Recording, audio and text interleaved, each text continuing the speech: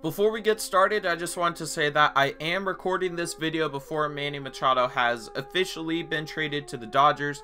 However, with all the sources that I have seen, this trade is all but confirmed by the clubs. So, Manny Machado has gone Hollywood. Not only is he one of the best shortstops in the game, but he is also one of the best players in the game.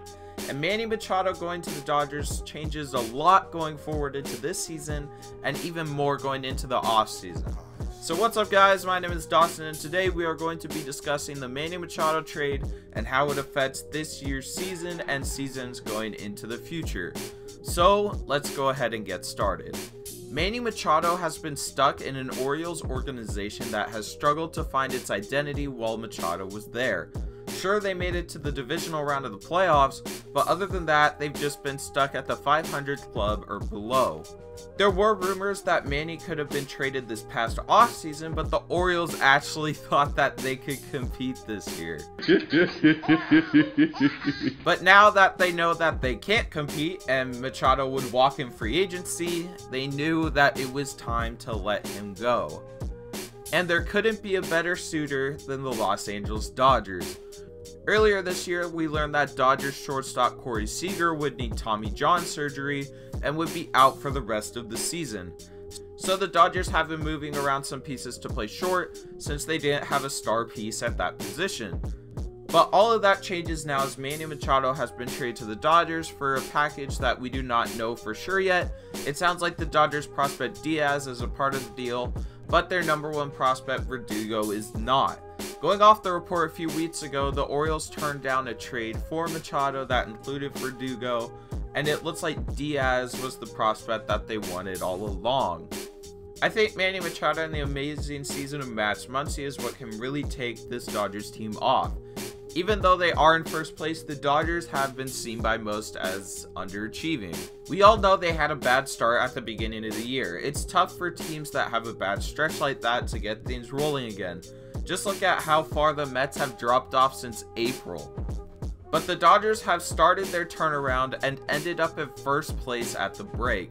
However, even with how great this Machado move is for the Dodgers, it's still not enough. With this addition, the Dodgers do have a good chance of making it to the World Series. Emphasis on the word making. The National League does have a few wildcard teams in the mix, but it looks like it's going to be another Dodgers versus Cubs NLCS this year. But the American League powerhouses like the Astros, Yankees, Red Sox, and Indians currently overmatch any team that can come out of the National League. And the Yankees barely have any starting pitching. It really doesn't matter who makes it out of the National League. Whoever wins it in the AL will be huge favorites to win the World Series this year, especially if the Dodgers make it and they don't add any more pieces at the deadline. But what does this trade affect in the MLB offseason this year? Well, as we know, Manny Machado and Bryce Harper are both free agents at the end of the year, and at this point, it looks like both of them will test the free agent waters. To me, it looks like Manny Machado wants to become a Yankee.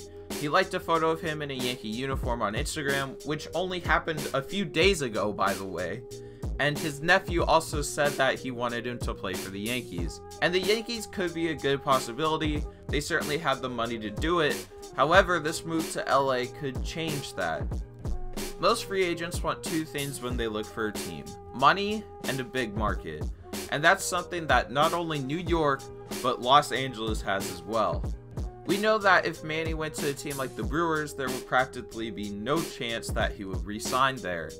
But depending on how things go in LA, I wouldn't be surprised if Manny does resign there during the offseason, but that move wouldn't make any sense unless they would plan on trading Corey Seager.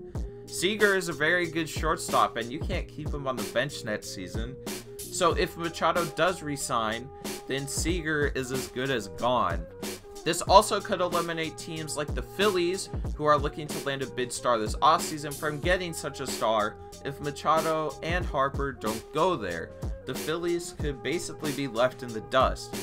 And speaking about Harper, what happens with Machado could highly affect where Bryce Harper goes. Teams can only afford to throw that kind of money at one of these players, and if Machado resigns, is it possible we see a reaction from the Giants and they go after Harper? Only time will tell. Overall, I think this is a great trade for the Dodgers if they win the World Series this year. If not, then I don't really think this is a good trade for them. Machado is likely only a rental with Seager coming back next season, and we all know there is a sense of World Series or bust in Los Angeles. And if they go all in this year and fail, their future will fail as well. Thank you guys for watching, and let me know what you guys think about the Manny Machado trade in the comments section below. If you guys enjoyed the video, be sure to leave a like, and if you guys are new, be sure to hit that subscribe button.